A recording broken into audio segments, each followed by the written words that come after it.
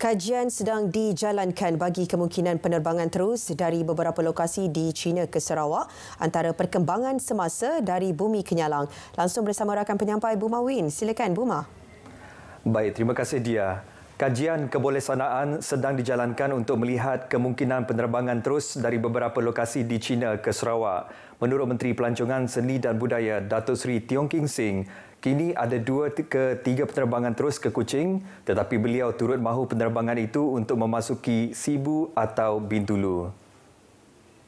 Katanya setakat ini satu penerbangan sudah pasti akan memulakan penerbangan terus ke Sarawak iaitu penerbangan dari Yunnan ke Kuching. Satu lagi penerbangan yang sedang di peringkat kajian akhir adalah oleh syarikat penerbangan Xiamen dari Fuzhou, ibu kota wilayah Fujian ke Sibu. Penerbangan itu berpotensi kerana Bandar Sibu mempunyai ramai penduduk berketurunan Fuchao.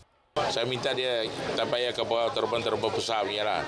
Mungkin pakai Airbus macam 320 ke apa 737 uh, 900 ke dia mari. Dia mari tadi. Itu belum kumpul lagi. Beliau ditemui media selepas merasmikan program Motek bersama komuniti yang diadakan di rumah Catherine Tamuh Sungai Aub Sibu lebih seribu orang hadir ke program gawai yang diadakan di rumah panjang tersebut. Program itu dipenuhi adat budaya masyarakat Iban di mana tetamu disambut dengan paluan gendang pampat dan tarian nyajat. Jajaran Sibu Dalat dijangka akan merancangkan ekonomi dan pembangunan di tiga kawasan Dewan Undangan Negeri iaitu N44 Jemoreng, N53 Bawang Asan dan N56 Dalat. Menteri Pembangunan Wanita, Kanak-kanak dan Kesejahteraan Komuniti Sarawak, Datuk Seri Fatimah Abdullah berkata, perkara itu dimaklumkan beliau kepada Timbalan Perdana Menteri, Datuk Seri Fadilah Yusof semasa pertemuan mereka baru-baru ini. Datuk Seri Fatimah menjelaskan bahawa projek ini memberi manfaat kawasan Dun Dalat, Jemoreng dan Bawang Asan. Jajaran Kun Muara Kebungan ini diluluskan untuk RMK12 dalam senarai nombor 4 di bawah KKDW 9 km panjangnya dan telah diluluskan 130 juta ringgit. Dari segi statusnya sekarang, penilaian sedang dilakukan dalam bulan Julai pelantikan konsultan bersama JKR Persekutuan pada September. Beliau berkata demikian semasa berucap pada penutupan kaul sungai Kut Muara di Dewan Serbaguna Kut Muara Seberang, Dalat.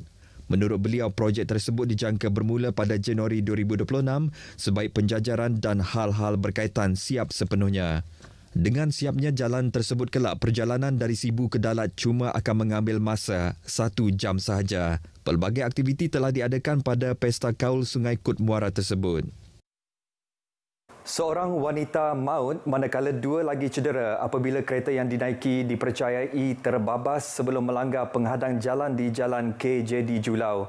Menurut jurucakap Pusat Gerakan Operasi Jabatan Bomba dan Penyelamat Malaysia Sarawak, pihaknya menerima panggilan kecemasan berhubung kejadian itu pada pukul 10.15 malam Ahad.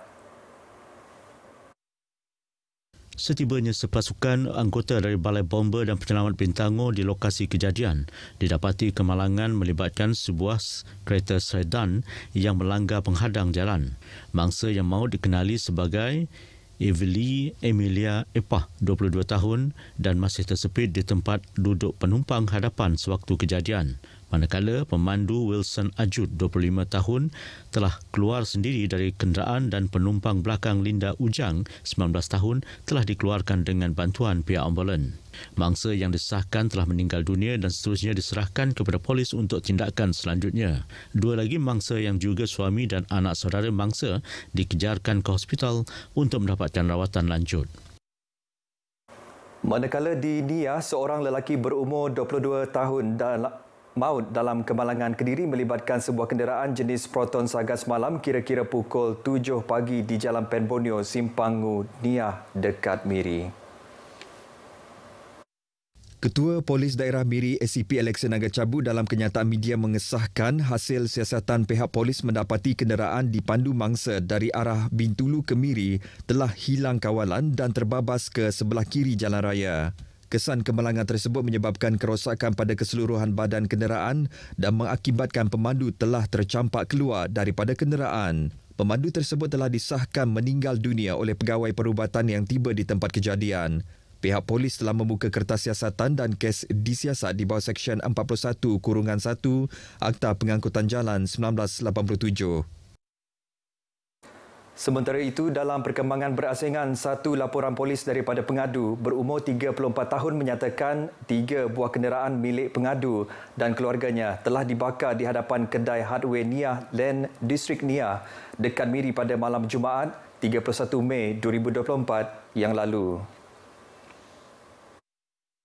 Ketua Polis Daerah Miri, SCP Alexa Naga Cabuk dalam kenyataan media mengesahkan hasil pemeriksaan dan semakan rakaman kamera lita tertutup CCTV mendapati tiga orang lelaki bertopeng yang menaiki kenderaan jenis pacuan empat roda berwarna putih telah menyimbah bahan bakar ke atas kereta milik pengadu dan keluarganya sebelum bertindak membakar kenderaan tersebut.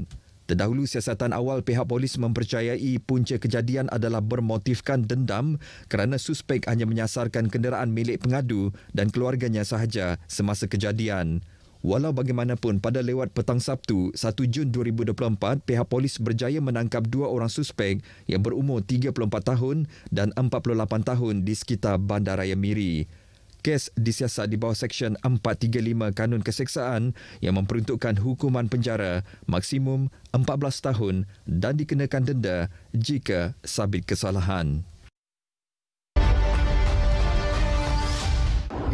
Jadi pertemuan ke ngaran ke Kolina Radang ke berbangsa Penang. Saya telah menyambung pelajaran untuk melanjutkan pengajian saya di Universiti Malaysia Perlis. Sepanjang pengajian saya telah menerima bantuan dari pihak kerajaan di mana saya telah menerima pinjaman dari Yayasan Sarawak saya telah bekerja di uh, sebuah syarikat akhbar tempatan. Saya telah menyertai satu pertandingan yang dikenali sebagai Anugerah Kenyalang di antara pengamal media dan saya berjaya mendapat tempat ketiga dalam penulisan uh, kategori ekonomi dalam penulisan bahasa Melayu. Saya harap uh, ramai lagi uh, masyarakat-masyarakat ataupun golongan belia di luar sana yang akan dibantu oleh kerajaan untuk mendapatkan masa depan yang cerah.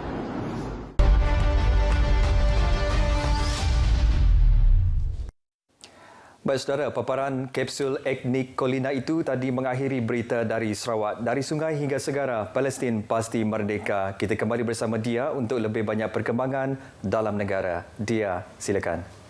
Baik, terima kasih Buma.